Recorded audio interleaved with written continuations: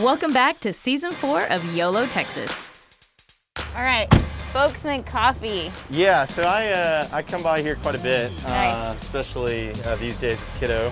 I'm always Um, down for coffee. I'm a big uh, Americano. That's guy. right. And I since remember it's you like a thousand that. degrees outside, I always do it iced. I'm gonna do. Well, I'll do a cold brew. Yeah. All right, so season four, we have a lot of stuff coming up. I'm excited to have you on more journeys. Everything went by so fast with the first three, so I'm excited to see everything Yeah. coming up for season four. No, I'm, I'm excited to play a part in just helping people remember what it was like to get out and uh, you know explore this great state and promote some really awesome places to visit once we can get back out Yeah. into the world Safely, uh, for safely sure. around uh, this this beautiful state of Definitely. ours. Well, So, thank you for the coffee. It's Yeah. delicious. Cheers. Cheers. And here's season four. Yeah.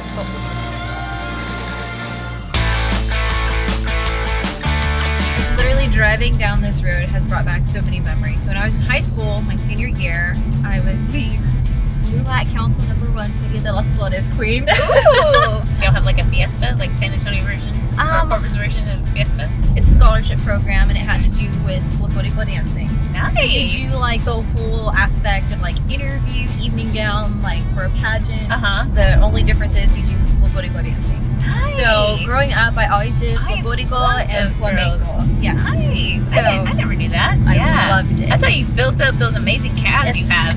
That is true. that is true. So, Jackie, you guys know I'm such a sports person, and having played college softball, baseball is has always been just my my love, my love, my one true love. And so, I actually have a secret talent when it comes to baseball. Okay. What is your secret talent, Jill?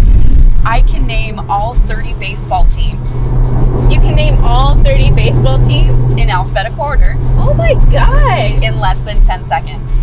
Okay. Three, two, one. Go. Angels, Astros, Athletics, Braves, Braves, Brewers, Cardinals, Cubs, Devils, Diamondbacks, Dodgers, Giants, Indians, Mariners, Marlins, Mets, Orioles, Padres, Phillies, Pirates, Rangers, Reds, Red Sox, Rockies, Royals, Tigers, Twins, White Sox, Yankees. Nice. that was impressive, Jill. During this whole quarantine, is there anything that you're able to kind of replicate at home? You're cooking? Yeah. What a are you lot. cooking? Um, so I perfected my Mexican Perfected? rice. Yes.